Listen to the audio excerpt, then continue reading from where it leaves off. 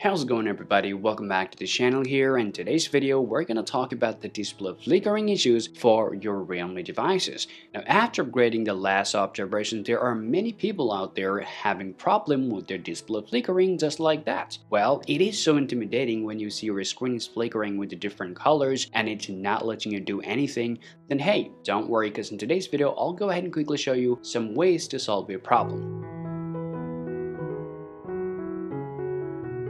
Now, this problem either can happen for software and hardware related issues. Well, the first things we're going to show you here, you need to just toggle off some of the settings from your developer option to solve your problem. For that, just go ahead and open up your settings and you have to scroll down here and tap on that additional settings. And once you come over here, make sure your developer option is activated. If you don't see your developer option under the additional settings and you want to move back, then scroll down to your about phone just go ahead and tap on the version. And now just go ahead and tap on that uh, build number for about you know seven times. And then you'll be able to see developer option will get back here. Now once you get your developer option you just go ahead and open this up here. Once you're in the developer option just go ahead and scroll down here and check for this update.